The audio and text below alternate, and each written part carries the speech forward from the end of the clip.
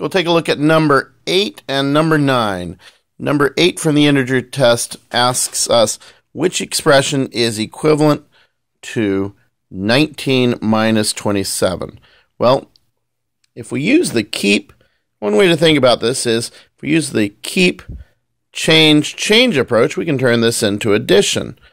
So we'd say 19 plus, so we change, keep, change, negative 27. Well, let's look at this. All right. Well, that's the opposite. That's just reversing the subtraction. So negative so 27 minus 19 is going to be positive. 19 minus 27 is going to be negative. So not that one. This is just reversing the signs of everything on the inside. This is the same as negative 19 plus negative 27.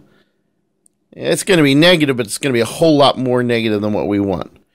Negative 19 just doesn't make any sense. What does that have to do with subtracting 27 from 19? We'd have to subtract 38 from 19 to get to negative 19. Because 38 is twice 19. However, this one does do the keep, change, change approach where it converts the subtraction into addition. So this is our correct answer.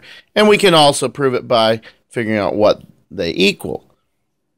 So 19 minus 27, uh, we would go 19 down to get to 0, and we would still have some more to go.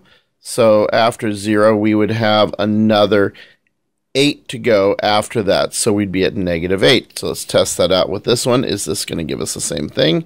So 19 plus negative 27. Another way to think of it is this is going to give us a negative. So let's go ahead and reverse our subtraction. Say 27 minus 19. And remember that the answer is going to be negative. Okay, we have to borrow, so that's a 1. That's a 17. 17 minus 9 is 8. 1 minus 1 is nothing. We know our answer is negative. So this equals negative 8. And this equals negative 8.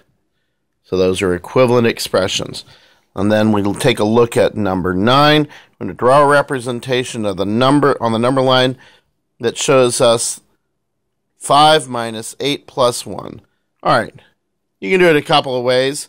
You could start, just say, okay, we're starting at 5.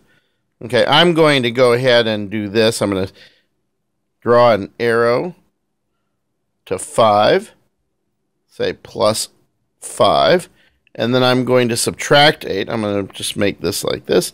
Go down 5, and another 3 more. That's minus 8, because 5 and 3 is 8. And then I've got to add one more. So here I am at negative 3. I'll go up one more, plus 1, and I am at negative 2. So zoom out a little bit so you can see that. Plus 5 minus 8 plus 1 equals negative 2.